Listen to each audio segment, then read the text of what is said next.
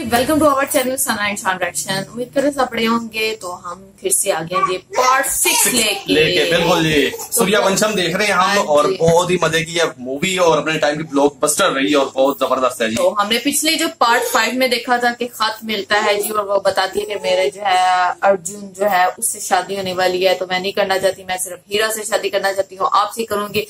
शादी तो अठारह को ही होगी लेकिन हीरा। तो चले जी पार्ट सिक्स देखते हैं जी इसमें अब क्या होता है जी। तो चलिए जी वीडियो को प्ले करते हैं देते अपना प्यार सा रिएक्शन के बाद देंगे रिव्यू के पार्ट सिक्स में क्या था। तो चलो लेट्स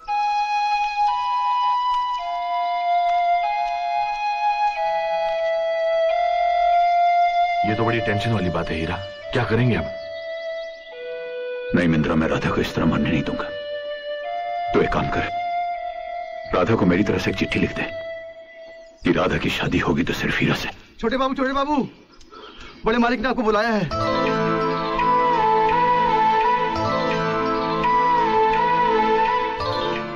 बड़े मालिक ने मुझे बुलाया? हाँ छोटे बाबू। तू तू सच कह रहा है ना? हाँ छोटे बाबू। नहीं नहीं उन्होंने क्या कहा? उन्होंने ऐसा कहा कि जाओ जाके हीरा को बुला के लाओ। हाँ छोटे बाबू।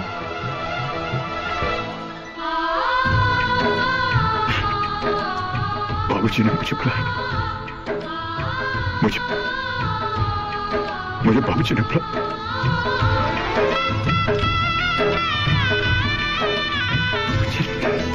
मुझे बुलाया।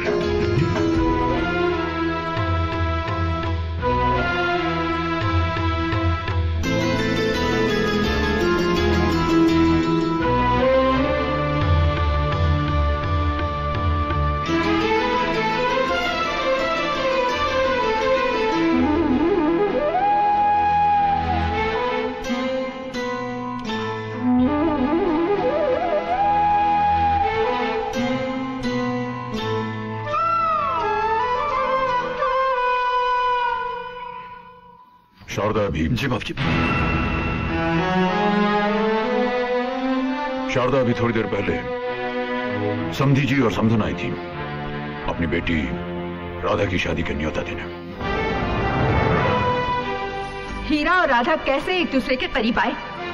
ये मैं नहीं जानती। मगर मैं ये नहीं चाहूँगी कि हीरा से राधा की शादी हो। हीरा आपका बेटा है। इसके सिवा उसकी अपनी कोई पहचान नहीं है। रिश्तेदार समझकर अगर मैं शादी के लिए हाँ भी कर दूँ, तो इसकी क्या गारंटी है कि वो शादी करेगा? इससे पहले भी एक लड़की से प्यार करके वो ऐन मौके पर शादी करने से इनकार कर चुका है। आप अगर चाहते हैं कि हमारी इज़्ज़त बनी रहे तो हीरा से कह दीजिए कि वो उसे भूल जाए। राधा को मैं संभाल लूँगी।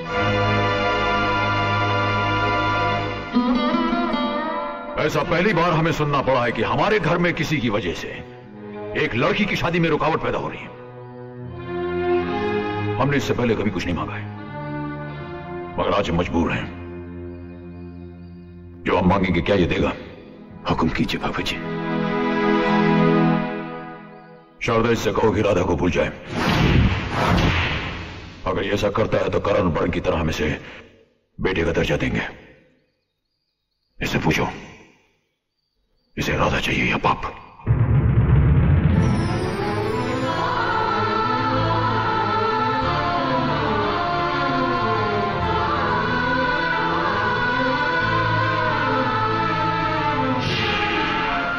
गले में मंगलसूत्र या फांसी का फंदा ये आपको तय करना है।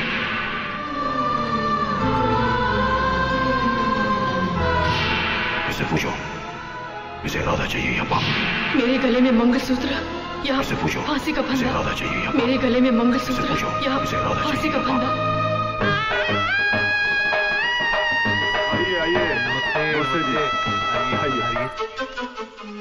तेरे पिताजी तुझे बेटा कहीं, सिर्फ़ यही सुनना चाहते हैं तेरे कान। राधा की वेदनाएँ, उसकी आवाज़ नहीं सुनना चाहता तू। हीरा प्यार सदियों में किसी नसीब वाले का दरवाज़ा खटखटाता है। राधा के प्यार ने तुझे आवाज़ दी है। बहरा मत पर लांग जा बाप की लक्ष्मण रेखा को। किसी इंसान का गुस्सा उसकी उम्र से बड़ा नहीं होता। जा। जा थाम ले राधा का हाथ। हीरा जा।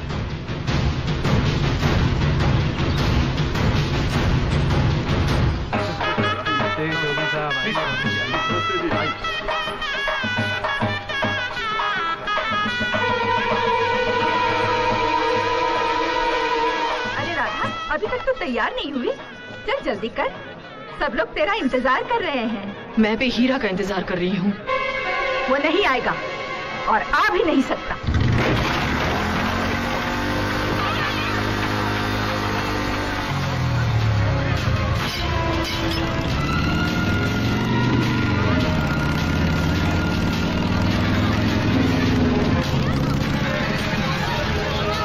ये ले पहन ले। देख राधा, मैं तेरी जिद के आगे झुकूँगी नहीं। लोगों में मेरी जगह सही हो, मैं हरगिज बर्दाश्त नहीं कर सकती, समझी?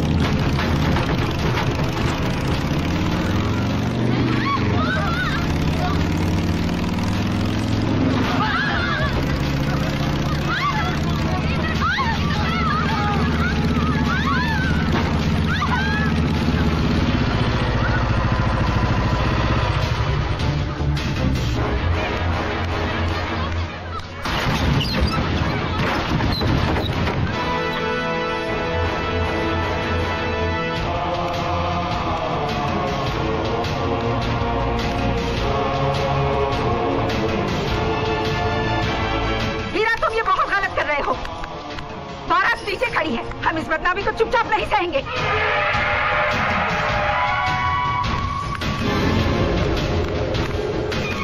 अरे, देख क्या रहे हो? पकड़ो से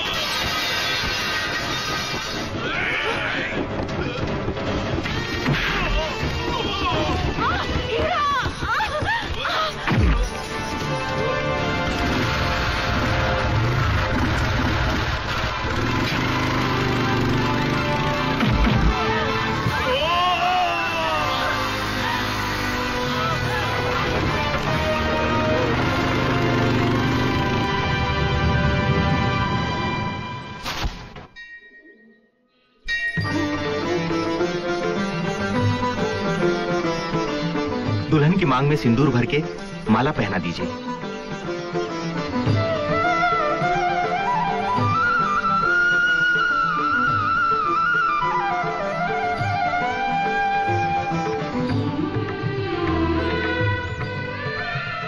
दुनिया की रीति रिवाज से परे भगवान को अपना साक्षी मानकर मैं तुम्हें अपना जीवन साथी स्वीकारता हूँ।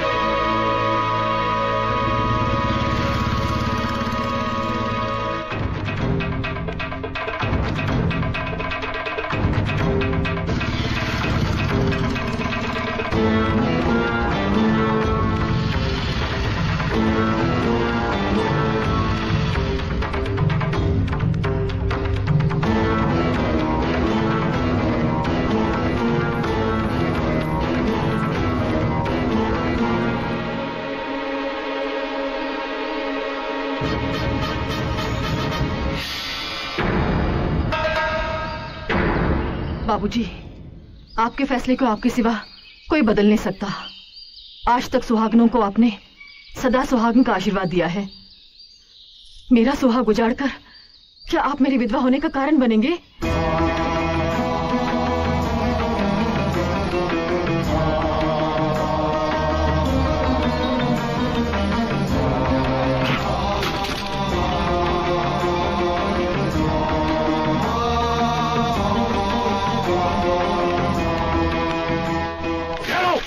तुम्हारे हिस्से की ज़मीन और जायदाद उठाओ इसे निकाल जाओ यहाँ से तुम हमारे खून का सबसे बदनाम खतरा हो।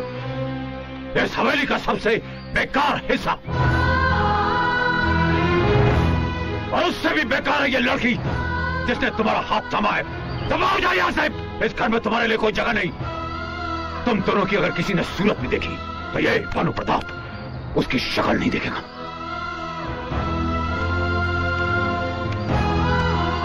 देख लो। देख लिया? बचपन में हमने इसे खेलने के लिए खिलौना नहीं दिया तो आज ये हमारी भावनाओं के साथ खेल रहा है।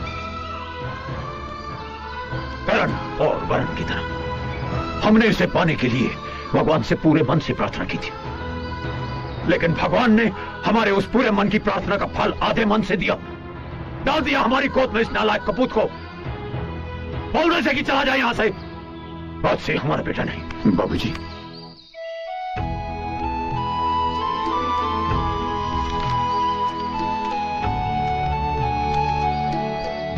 जब मैं आपका बेटा नहीं रहा तो फिर आपकी इस जायदाद में मेरा हिस्सा कैसा? सिवाय आपके मुँह से बेटा शब्द सुनने के मैंने कुछ नहीं चाहा। ये ये नहीं चाहिए मुझे। आपके तिरस्कार को आशीर्वाद समझकर जा रहा हूँ।